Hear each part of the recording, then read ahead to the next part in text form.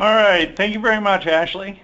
Uh, today's topic of conversation, uh, we're going to be looking at HSM, uh, either in Inventor or SolidWorks HSM. It's basically the same, same core engine behind it all. Uh, the main focus of the day is high-speed machining and a couple things like adaptive. We're also going to take a look at derived operations, and we're also going to look at operation templates. So a little bit about the agenda. Uh, I'm going to just kind of let everybody on the on the webcast know who we are and what we're about. Uh, we're going to look at the HSM portfolio. Uh, we're going to discuss integrated CAM versus standalone CAM. Uh, we're going to take a real quick look at the CAM processes. And like I said, our topic that we advertised was adaptive clearing uh, derived operations, and using operation templates. So that's just a brief outline of what we're going to cover today. And with that all being said, we'll take a quick look at about us. Uh, we are Hagerman and Company. We were founded in 1984. Uh, we're celebrating over 30 years as an Autodesk value-added reseller. Uh, I've actually been with the company close to 20 years. So uh, most of our employees are, are long-term employees and we have a lot of people that can help you out. Uh, we have 21 offices and training centers, uh, mainly focused in the Midwest, but we also cover quite a region to the south and out in California. Uh, we've been an authorized reseller for many, many years in a lot of different disciplines, architectural, manufacturing, civil, plant, government. Uh, we are an authorized training center, so if you guys are looking for a place to get training on any of this software, uh, we are an authorized training center and we're also a certified AIA provider. So that's a little bit about us. Here's a roadmap as to where we're located. Uh, the stars basically indicate individual offices. Uh, the colored areas are our selling districts, and some outlying areas are more support districts. So today's conversation, Autodesk HSM. Uh, you'll hear this in a lot of different variations. First of all, if you're an Inventor user, your product would obviously be called Inventor HSM. If you happen to be a SolidWorks user, it's known as HSM Works. Uh, if you're accessing any of this technology via the web, uh, you're looking at CAM 360. Uh, it's basically the same high-speed machining kernel underneath. Obviously, for different products, you have different ribbons and different interfaces but the core engine is basically Autodesk HSM. It's just available in a lot of different flavors. Uh, speaking of flavors, let's talk about the flavors for just a second. Uh, in your Autodesk CAM solutions, you have on the Inventor side, Inventor HSM Express. Uh, just a quick note here, guys. If you guys are using Inventor and you're looking for a way to experiment in the CAM world, download the HSM Express today. Uh, it's absolutely free. It, it's not going to cost you anything. It's a professional level two and a half axis milling and drilling application that runs right inside of Inventor. Uh, now the caveat to that is the HSM Express is free, but you do need to have Inventor. Uh, now if you're using SolidWorks, you can do the same thing. Download the HSM Express. Uh, it's a free plugin for SolidWorks, lets you do the exact same thing. Uh, you can also get on the cloud, if you do a little research on Autodesk Fusion 360, uh, you can access the Express module via the web and try it out there also. Um, that one I believe is free for limited use. Uh, if you're needing more than two and a half axis, uh, again, these, these are available. You have an Autodesk Inventor HSM, uh, basically 3D, 3 plus 2 milling applications. Uh, HSM Works is the name for SolidWorks. And again, Fusion 360 gives you access via the cloud. Now, a little note about this. As an inventor, as an Autodesk reseller, if you were to go out and purchase the three-axis module of Inventor HSM, it actually comes with a free package of Inventor. So you can't beat the bargain there. Unfortunately, on the SolidWorks side, you do have to own SolidWorks already. Since Autodesk does not sell SolidWorks, they can't really control that aspect of the picture. Now, if your needs are beyond two and a half axis or even beyond three axis, we also have five axis capability.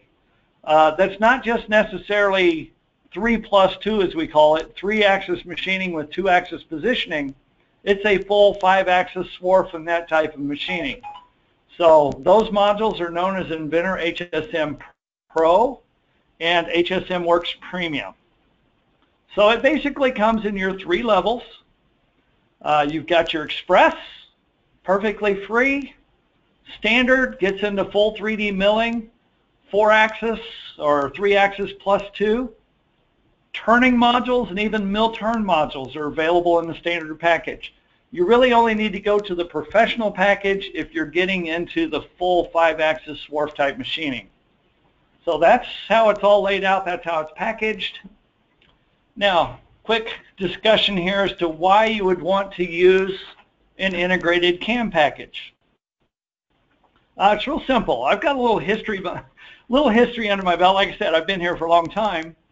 But just to give everybody a little bit about my background, my first CAM package was actually a product called Tool Chest. Uh, it was developed by Battelle Development Company. I used it for several years actually in production, running up to nine different CNC machines with it. Uh, after I got done with uh, Battelle Development and Tool Chest, I actually went over to SurfCam spent just a little bit of time in SurfCam because I was getting into a lot of surface machining. And then I started my encounters with Hagerman and Company. When I first started with Hagerman and Company, we were selling a software called SmartCam. That software actually got bought out by a bigger company and dissolved, which put Hagerman and Company in kind of a little dilemma. So we started researching what was out on the market, and we ended up becoming an EdgeCam reseller. Uh, EdgeCam, great product. We ran it for many, many years until recently when Autodesk got involved with integrated cam. Uh, we decided that integrated cam is the way to go and we kind of let EdgeCam go to the wayside. Now, why did we go through that decision? Well, I can tell you, I've worked with a lot of different softwares. Almost every one of them follows this procedure. You start with some sort of CAD data like an Inventor file or a SolidWorks file. You export that CAD data into some sort of native format, solids, step, IGES. Once you've exported that data, you're going to import it into your machining package. You know, when I was using SurfCam, we had to build our models, save it, import it into SurfCam. Uh, once you're into the SurfCam machining software, then you define your job setup, define your operations, generate your toolpath, and verify your toolpath and go ahead and post your code. But the key thing to remember here is all these other programs I mentioned, almost all of them, you have to export your solid, import it into the program. Now, that leads to be a problem when things change. Example, the workflow I just laid out there. Let's say the CAD data needs to update. Somebody added a hole or added a chamfer. Well, now you got to go back to your CAD program, update the data, re-export it, re-import it into your machining program. Of course, when you re-import it, the machining program says, oh, a new file. Well, now you got to redefine your job setup, redefine all your operations, generate new toolpath, verify it again, and post your code. Now, why integrated CAM? What's nice is having your CAM package built right into your modeling package is you can eliminate all these steps. Basically, you're going to use Inventor slash SolidWorks. You're going to create your CAD data, go right into machining, defining your job setup, defining operations, verifying and posting your code. If something changes, simple. You're already in your modeler, so you just update your CAD data, regenerate your toolpath, verify it, and post code again you've eliminated almost half of the steps required with the traditional systems. So do you want to use standalone CAM or do you want to use something that's integrated? Well, this is basically why we decided to stop selling everything else and strictly focus on what comes inside of Inventor or SolidWorks. So integrated CAM is, is not just a lightweight CAM program. It's built in, it, it's full-blown, it's robust, it's ready to go. So, example, the way you process a CAM model. Uh, the interface I have up on the screen actually right now looks like Inventor. So you create or open a model. Uh, I'm going to throw a little note here specifically about Inventor. Inventor is obviously a full-blown modeler. You can create anything you want. But it's also fully capable of opening virtually anything out there on the market. If somebody sends you a CATIA file or a ProEngineer file or just an AutoCAD Solid or I can't even name them all, in Unigraphics, if somebody just sends you any kind of file with Inventor, it's file open. Just open it up, it shows up on the screen, you're ready to rock and roll. So whether you create your CAD data or whether you just open it, start with Inventor, open the file, you're ready to rock and roll. You define your job setup. This is a fairly simple process. You're just going to tell the software my stock is this big and right here's where I want my zero. Easy enough. You go in to define your operations. Now this is where any CAM software gets a little complex because you've got a lot of choices. You can face, you can rough, you can contour, you can chamfer, you can drill. Uh, the pictures I have on the slide here don't even get into the 3D surface milling, but there's a lot of different routines you can look at. Actually, we're going to spend a little time looking at some of the routines today. But once you define your operations or what exactly it is you're going to machine. You don't have to machine the whole part. You can just machine part of it. Once you define what you're going to, going to machine, then you simulate it. Again, a lot of softwares will dump your file into a third-party simulation software to look at it. With this, you'll notice I'm still looking at the Inventor environment. I can simulate it right on the screen without leaving the CAD package. And of course, once you've simulated it, verified everything's okay, then you come in and you post your code and off to the machine you go. Uh, HSM Works and Inventor HSM both have built-in methods of sending code directly to your software or to your machine. So all that's included. And like it says across the bottom of the screen, in the world of machining, every second counts. So why leave your CAD program? Just run right into it and do it. So our three topics that I promised you guys in our, in our outline. First of all, adaptive clearing versus conventional clearing. This is something unique to HSM, and that's why I decided to do this webinar today on this particular topic. I've worked in a lot of CAM programs and not too many of them are very efficient with getting material out of the way. Uh, first of all, if you've done legacy type clearing, as I call it, a lot of times your cutter engagement is very uneven. You get a heavy load, a light load, a heavy load, a light load. Sometimes you're cutting air, sometimes you're taking a full cut. Uh, anytime your tool transitions over, you know a full width cut of the tool. Uh, the thing about adaptive clearing is it's going to regulate the amount of load that's put on that tool at any given time. So what you're going to have is you're never going to see peaks or stress areas on that tool. Now what that means, uh, you basically are going to get consistent cutter engagement throughout the whole clearing operation. That's going to allow you to actually take larger depth cuts with confidence that your cutter is not going to see heavy loads or spikes while it's engaged with material that could or could not normally break cutters. Uh, adaptive clearing strategy results in probably 40% or higher material removal, removal rates. Uh, it's hard to put a number on this, and I'll show you why today. Uh, but from what I've seen, you're going to save at a minimum a 30% material removal rate compared to your traditional methods. Uh, some of the examples I get into today are going to get up to 40, even 50% faster removal rates. Now, One more added bonus to that, uh, your tooling. Tooling's getting pretty expensive lately. Uh, adaptive clearing strategies can increase your tool life by as much as a factor of 10. Of course, that all depends on the material hardness and what kind of shell crust you're cutting. Uh, but just having your tool at the right engagement is what it was designed for is going to increase your tool life by a factor of 10. So with that being said, the first thing we're going to look at today is adapt adaptive clearing versus conventional methods. So let me jump over to the software real quick. And I'm going to open up a part that I've got here. Let everybody take a, a quick look at this part. It's not complicated. It's just got a, a few pockets and a few areas to mill. Uh, it's got some drilling operations in it. It's what I would just say an average part.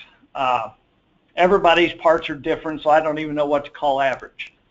But this is what we've got on the screen. Just to prove equality, I'm going to go into two different setups here. One is going to be showing adaptive milling. The other is going to be showing a conventional milling. And by the way, they're both available inside this software. I'm just comparing the two. Uh, because to me, you hear the word adaptive out there on the market. What does that tell you? Nobody really knows. Well, after today, you're going to understand what adaptive contouring really is. Uh, now, with that being said, the piece of stock here, setup number one, you can see the piece of stock around my part. Setup number two has the exact same piece of stock. So comparative X versus Y, they're both using the exact same piece of stock. If you take a look at the tool, let me edit this and show you the tool. The tool is running at 1200 RPM and it's basically running at 12 inches a minute. Just a standard half inch end mill. Uh, I can show you the tool, but it's just a half inch end mill. That's kind of the specs on the tool. Standard four flute half inch end mill. Nothing really special about it.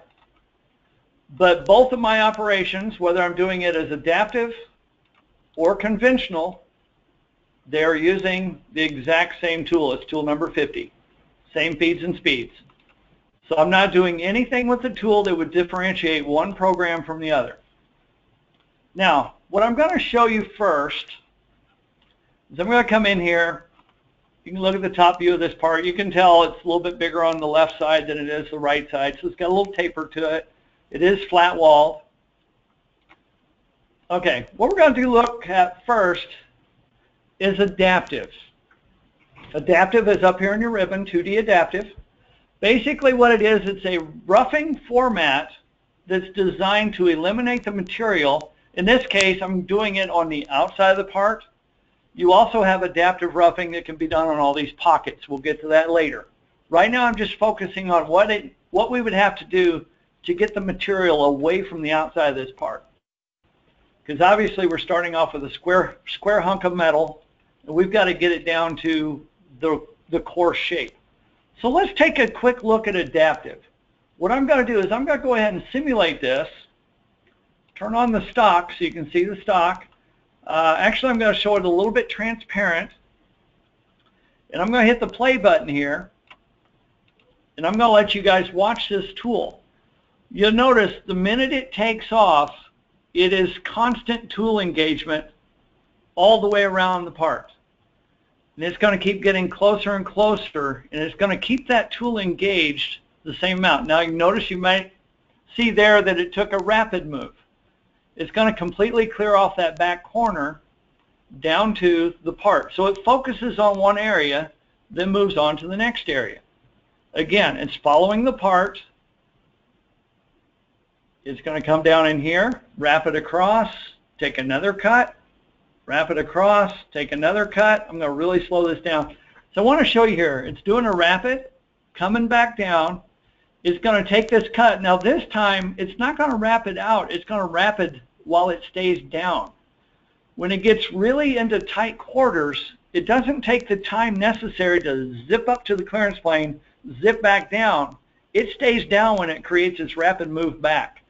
I think that might be shown in one more place on the last corner.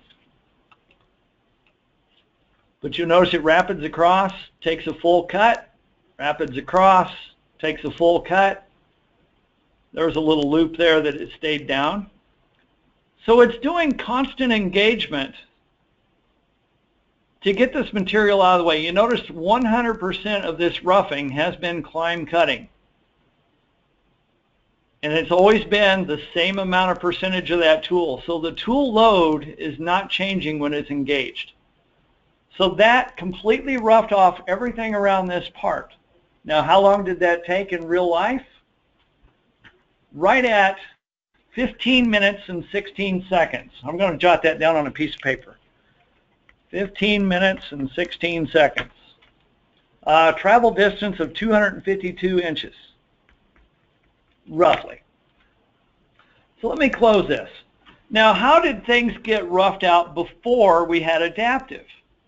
I can tell you, tool chest, SurfCam, uh, SmartCam, they all basically took this approach. You've got your square piece of stock. Let me go ahead and simulate this.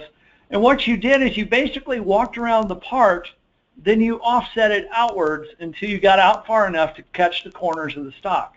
So this is very typical of what most, most systems would use for a machining operation.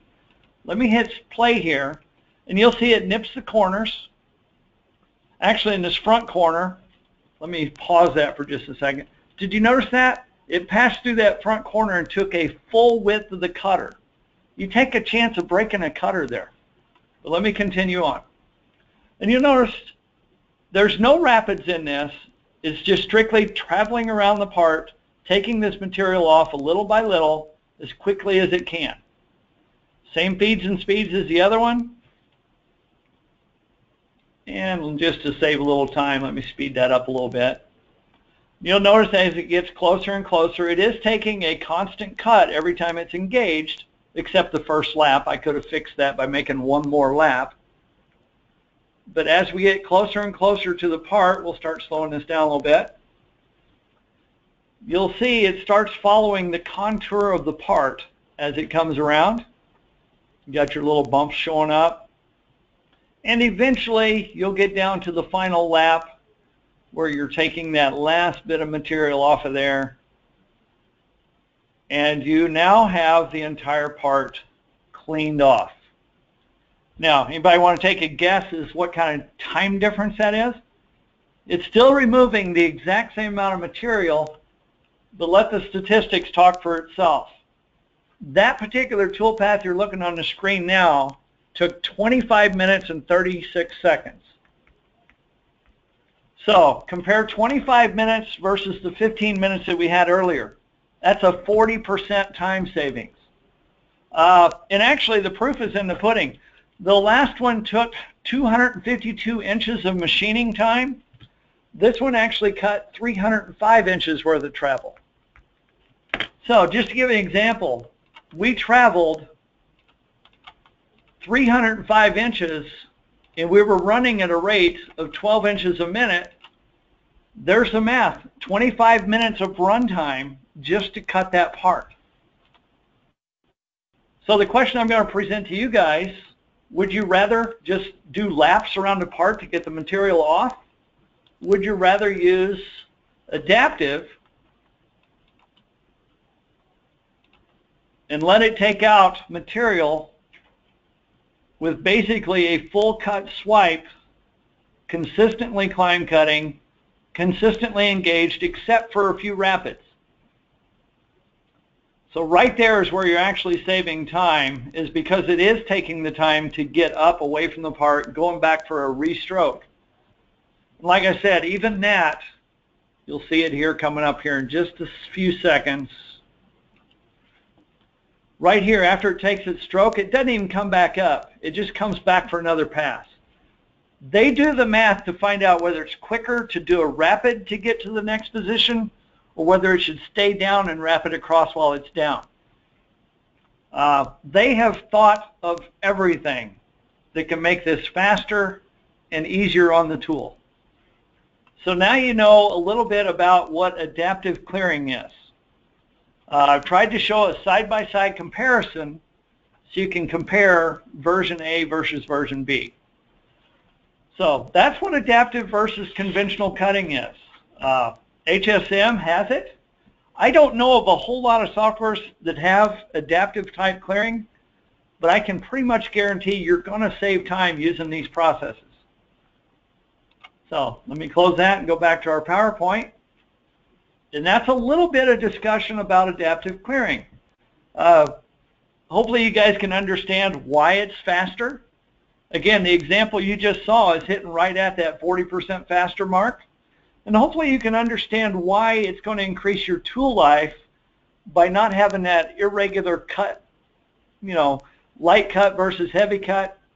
It's always going to have the same load on that tool when it's engaged. So, next thing I promised you guys in our outline is derived operations. Uh, derived operations is basically a way for the program to remember what tooling you're using. It's a way to remember what settings you've applied to that tooling and what settings you've applied to your actual profile or pocket mill. Derived operations basically transfer all your tooling and setting information into a completely different type of operation not exactly the same as a cut and paste, and I'm going to try to distinguish the difference between the two. If you have a pocket mill and you do a copy paste, you've got another pocket mill. But maybe I want to take a pocket mill, capture the tooling and setup out of it, and then apply it to a contour mill. That's what a derived operation is. Uh, to really distinguish between the two, I I kind of put together a demo and then I completely redid it. I said, you know what? We're going to do a side-by-side -side comparison because I want you guys to be clear as to what's the difference between having an operation versus just using cut and paste to copy an operation. Uh, a lot of softwares have cut and paste. Not too many of them have derived operations. Uh, I put the little hats there at the bottom of the screen and kind of point out sometimes you want them to be the same, sometimes you don't uh, little honor of St. Patrick's Day there. Anyway, the choice is ultimately yours. HSM machining has both. So you get to pick and choose how you want to work. And the little demo I'm going to put together for you here kind of shows both. So I'm going to I'm going to do a little bit of both during this. Let you guys kind of get an idea. Okay. We've looked at adaptive, so we're going to look at derived operations. Open up another part here. Uh, very similar, but different than the other parts.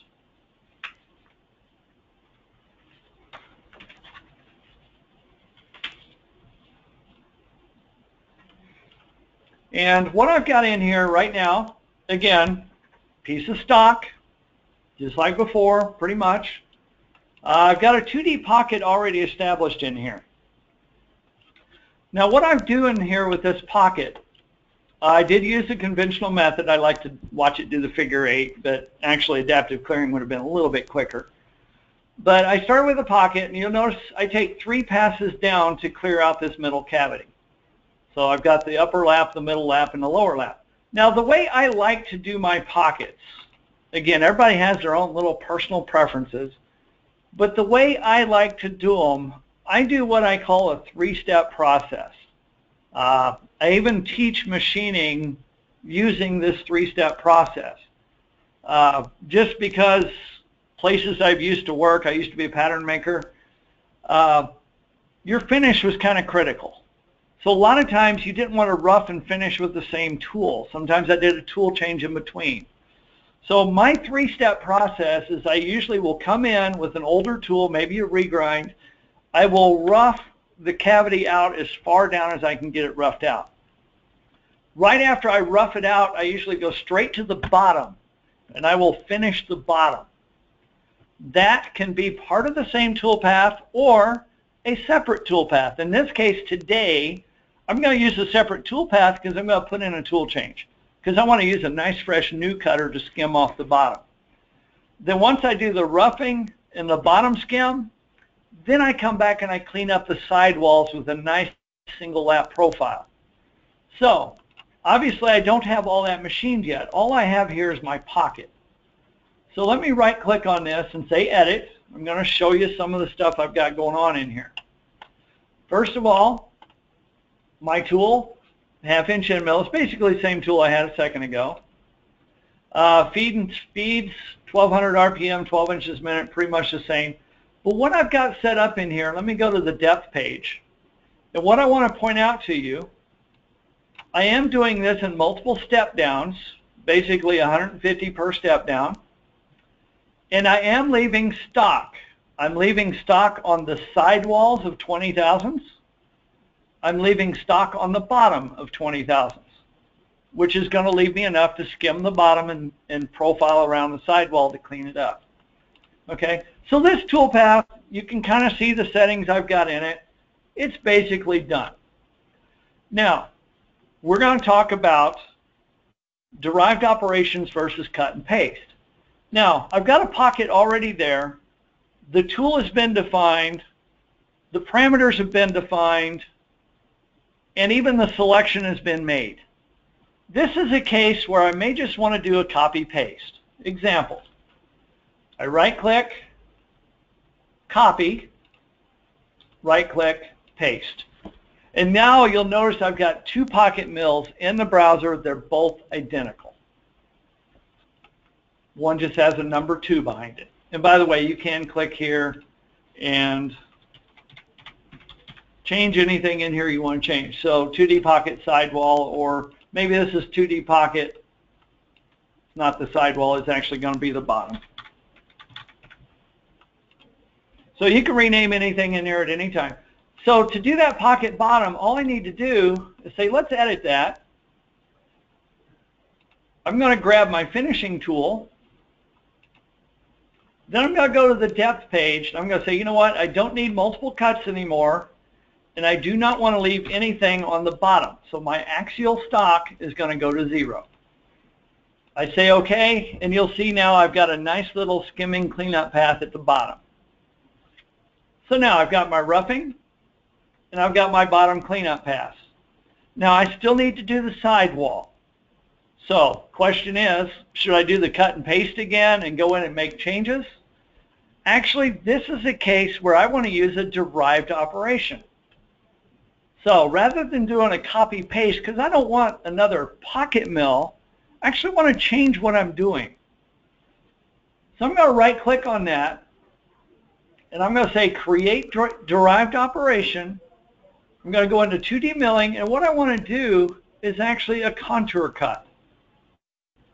I'm not doing a pocket. I just want to do an outer contour of that wall. So I just come in here and say, you know what, I want to convert this into a contour cut. And I'll just say okay because I don't need to change anything else. And you'll notice it took what I had defined as a pocket mill and it converted into a single lap contour. Just that simple. I'm going to edit it just to show you one other thing in here. Even on the contour, because I said it was a contour, there is no stock on the side. Now to show the whole thing, it's probably easier to see it in simulation. I'm just going to go ahead and run this. You'll see it starts roughing out. That was the first operation I had defined is that initial pocket. I will speed it up just slightly because I know I'm under a time limit here.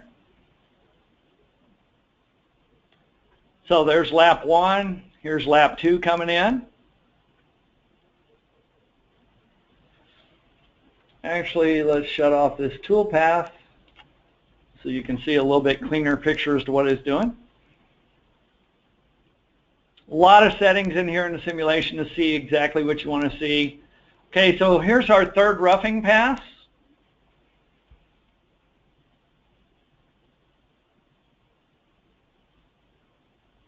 As soon as I'm done doing this, it's going to switch tools. You won't see it make a tool change, but it's going to switch tools into my finishing cutter, and it's going to come back and skim the bottom. So there's that last 20 thousandths coming off the bottom. Going to leave us a nice clean finish on that bottom cut. And as soon as it's done with that bottom cut, you'll see it retract to clearance plane and come back in for that final cleanup around the outside. So you got a nice clean pocket. That is the way I generally will teach beginning machinists. Uh, that's the way I teach some of the HSM classes. You want to do a three-step process, mainly just get the material out of the way, change cutters, finish the bottom, finish the sidewalls, and get a nice clean pocket. Now, I did that in three steps. The initial pocket, I did a cut and paste to get to this pocket. Then I did what I was meant to showing you is derived operation because this is not a pocket, it's actually a profile but I used the exact same settings that I had in my pocket mill. So I saved time just by saying derive that rather than build it from scratch. Hopefully that, hopefully that clarifies the difference. I'm going to take this a little bit further, uh, and this may clarify even more. This pocket mill, I started in that center cavity. Again, just to show the comparison. I'm going to copy that and paste it.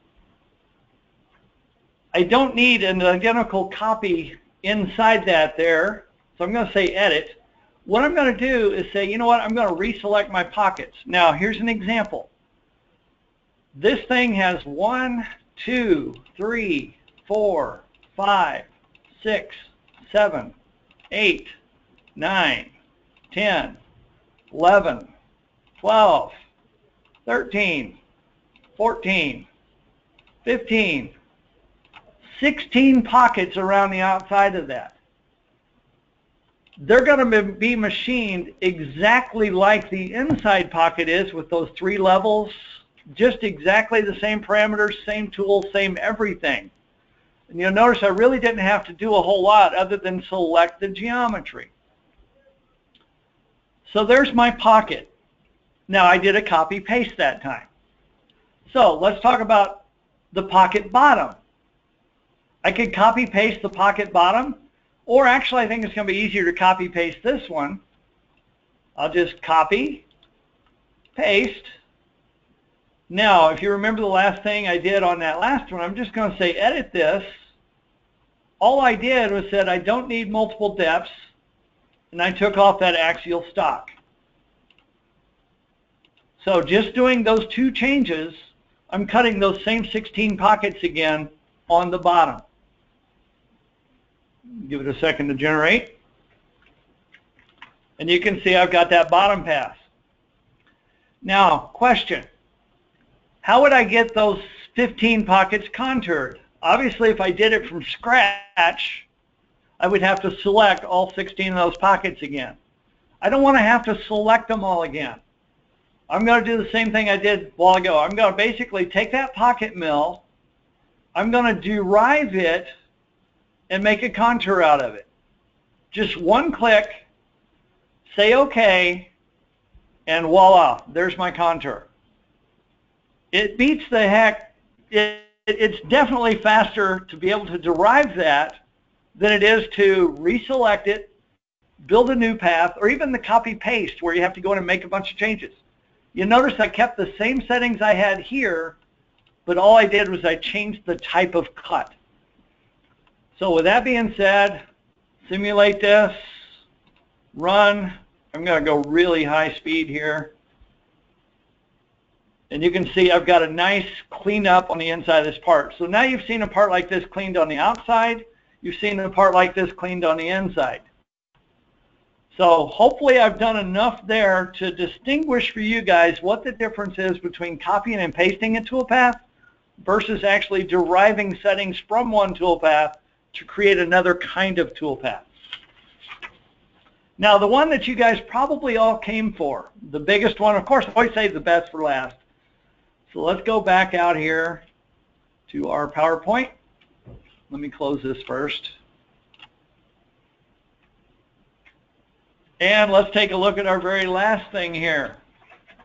Operation templates. Uh, the idea behind an operation template most of us have a job. I know when I was a pattern maker, every job that came through the door was different. But at the same time, every job that came through the door had a lot of similarities to the last one. So the question is, is it really different or is it similar? Uh, if you've got jobs coming through the door that are very similar to one another, you definitely want to take a look at using a template. What a template is, the program has factory defaults. Uh, if I just went into the program right now and said, I want to do a pocket mill, uh, you guys may already have the program, maybe you've already done it. You get a helical entry. You get what the factory decided is your preferred defaults. Well, what this is going to do is give me my own set of preferred defaults. There's a certain way I like to do my pockets. I can get those guaranteed every time. Uh, this can be applied to a single operation, a complete set of operations, which I'm going to show you in a second, and you can recall these preferences anytime you want on any part you want. So it's not exactly like, I'm showing my pictures here, a piece of paper is a template over your part, or maybe a plastic guide. Uh, what it is, is actually stored settings. Now with that being said, let me jump in here and show you a little bit about these stored settings. Uh, this one ought to be fairly easy for you. They're stored as a template. I'm going to edit this with Notepad and show you what the inside of it looks like. So just to scare the daylights out of you guys, what you need to do to create a template is get you a nice editor and start learning HTML and XML code. No, I'm just kidding, guys. You do not have to know any code. I just wanted to show you how it's stored. Uh, what's nice about this is I have done this. Uh, rather than recreating a template, if there's one little tweak I want to make, I can come in here and I can change anything about my spot drill. I can change anything about the drill that's being used how it's being used. Uh, actually, the one that I opened up here is a three-step drilling process. It starts off with a spot drill. It goes into a drill, and then it's eventually going to come through with a counterbore. So it's a three-step operation that I've got stored in a template. I will actually come back and apply this one in just a minute, but I just wanted to show you what the insides of them look like. So back to Inventor. And let's just go to, um, I can take these at, at, random. Let's start with this one. Uh, kind of an interesting shape part. I've got a setup in there. Basically, zero's right in the middle of the part. Got a piece of stock. Now what I'm going to do here, guys, and I, I've done a little webinar similar to this where I said high-speed machining is a really high speed. This part has a profile. It's got pockets. It's got drilled holes. It's got chamfers. It's got an odd shape. It's got a lot to it. But what I'm going to do here, I'm looking down at my clock. You guys, uh, I think you can see the clock in the bottom right corner of my screen. It's 1144. Uh, I'm just going to wait until it clicks to 1145. But if I come in here, create from template. I've got a template out here that's called My Part. It's all inclusive. It's got six different operations in it. So I'm going to say create from template, my part. Waiting on my clock to tick to 1145 before I actually start this.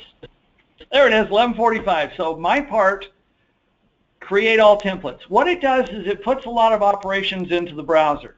So just give an example, face mill. Yes, I'm going to face it. All I have to do is say edit. There's my tool. I say OK, and I've got a face mill. 2D adaptive, edit, that would be the outside profile. Say OK. 2D pocket, edit. In this case, I've got three pockets. So I'm going to pick all three of them and say OK. 2D contour, edit. Yes, I've got contours. I've got a contour there, there, there, and there. You can have as many as you want. I'm going to say OK. Do I have to drill something? Yes. I'm going to say edit. I need to drill that hole right there. Okay, that happened to be a spot drill. Then I'm going to do actual drilling of the hole. And this, it happens to be tapped. So I'm going to go ahead and tap that same hole. And in basically one minute, I have just completely machined an entire part.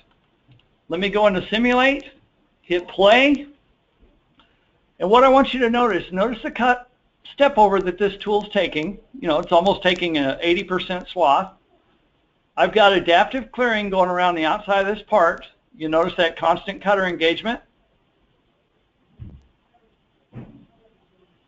You see a little rapid move, so I can come back and clean that corner off. There's that corner. Then it's going to do the longer piece here in the front.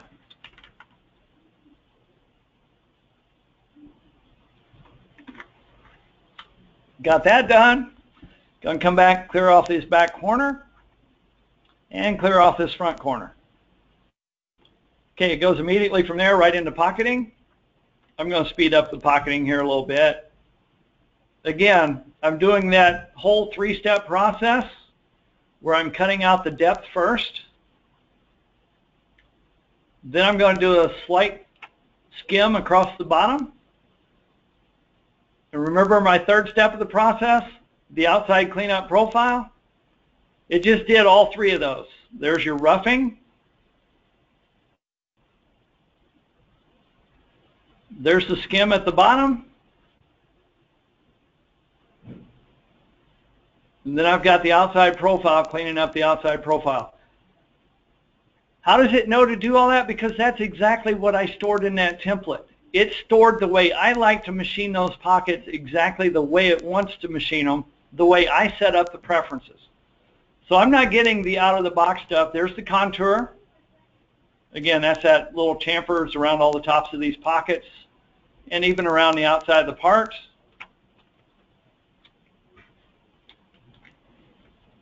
And then boom, boom, boom, there's my spot drill, center drill, some people call it. Follow it up with my drilling.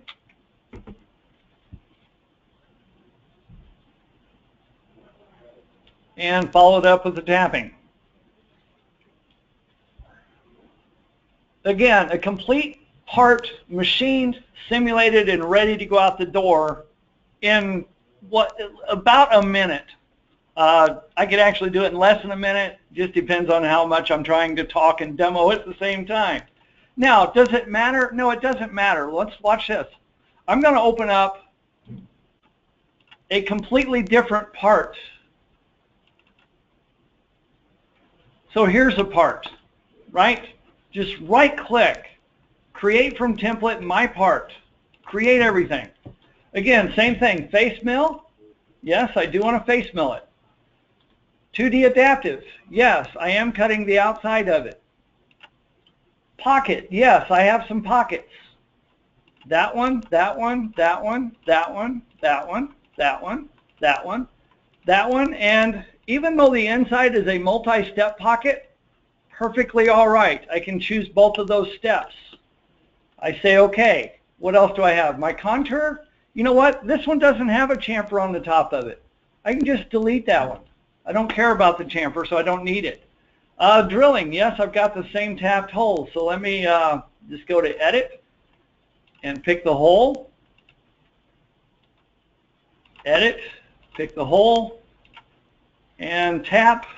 Yes, I do need to tap the same hole. And again, less than a minute, I've got an entire part ready to go. Uh, notice I'm getting the same width of cut on this tool. I'm getting the same width of cut on this tool. I'm speeding this up because you've already seen a lot of this on the other part that I did. Again, the pockets are being machined the same way that I prefer the roughing. Then it'll have the little skim at the bottom. Then it's going to clean up the sidewalls again through all the pockets. Even though my middle pocket had multiple depths in it, even that, there's the bottom skim. Then it's going to come back and do that ledge that I had in there. And even it is going to have that bottom skim and the outer cleanup profile. Again, there's all my center drills. There's my drills. There's my taps. If you happen to realize you may have forgot something, I did forget the center holes in there. Not a big deal. I can right click from template. I have my 632 counterbore hole saved as a template. So I just take that, create all templates. Uh, the first drill is going to be the spot drill. The second one is going to be drilling of the hole itself. So I need to actually pick the hole. And the third one is going to be my counterbore. Do that. So just that quick, I can add another set of holes to your part. So is the part similar to the one you did before, or is it a brand new part? And by the way, you don't even have to be doing this for machining. I can jump in here, go to simulate, and right there I've got my full machining runtime. This thing's going to take one hour and 11 minutes to run. I can quote the job in less than a minute. Just throw the part on the screen, put your defaults in it, and you, you can start quoting jobs without actually machining them. Uh, I've got a few minutes left, so what I'm going to do, uh, just to show you, it always applies, I'm going to open up another part. Again, it's different. I put different stuff in here just to prove that we could. Again, create from template, my part, create them all. Face mill, yes, I'm going to do that. 2D adaptive, yes, I am going to machine the outside of the part. Pocket mill, yes, I've got some pockets. I've got one there, one there, one there, one there, and one there. Uh, 2D contours, I don't see any chamfers. Again, just like before, if you don't need it, just take it off the list. Uh, drilling, yes, I want to drill. I'm going to catch that hole. And you notice the software even picks up all the holes that are identical to it. So if you happen to have one hole that was different, it would stand out for you. So drill and tap the holes. Just, again, less than a minute, I've got the entire thing programmed. Click Simulate. I can simulate it. Again, it's got all my preferred settings. Width of cuts, depth of cuts, outside profile, pockets. Again, if you watch this pocket, you'll see it does the roughing. You'll see it'll do the little skim at the bottom right now. No, one more. There's, no, one more. There's the little skim at the bottom. Then I've also got a skim going around the outside wall. Again, the way I prefer to cut, and I'm not sitting here telling the software that every time. I'm just saying, here's a pocket, here's a pocket, here's a pocket, go do it. So that is what operations is all about. You can set up your preferences save it, put it out there, let it do the machining. Even if it's multiple pockets within one zone, that's fine. Again, spot drills, drills, taps, finish part in under a minute.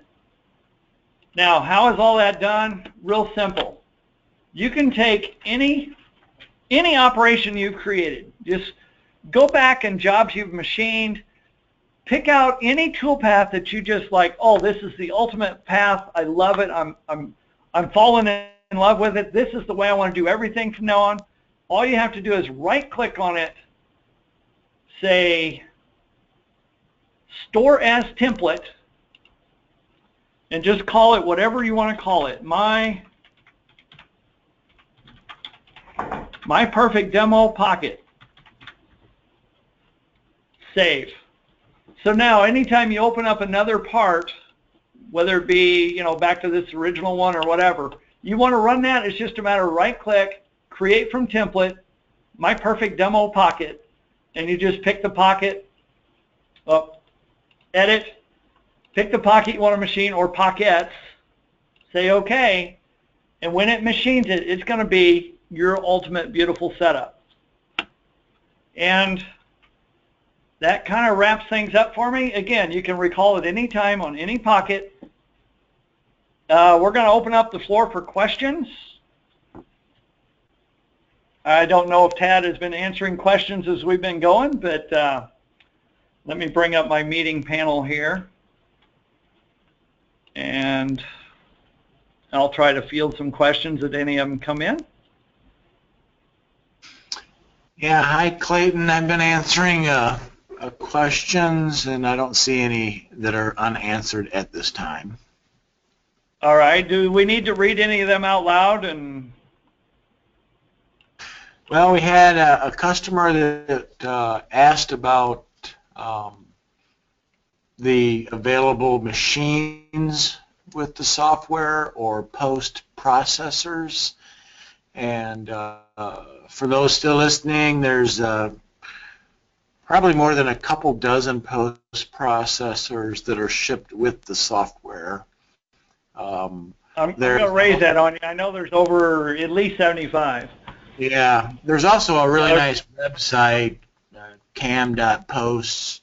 Let me see what it's called here. Uh, yeah, cam.autodesk.com slash posts. And you can go to that website and look for uh, your machine slash control. Um, there's also a forum on the Autodesk forum page that's monitored by post-processor gurus. You can upload and download and, and share information there. That's free. Um, so a lot of that stuff's free. Uh, Hagerman and Company is also uh, offers CAM support, and uh, we're more than capable of tweaking post processors for for our clients, and happy to do so. Um, we understand that the G code's the bottom line, so uh, we'll do what's needed to to get your machine making chips.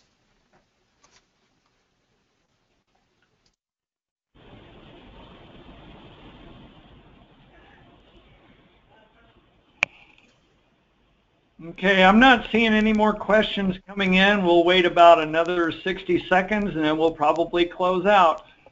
Uh, thank you all for attending. Uh, hopefully you got what we promised you and hopefully we got uh, some good information out to you.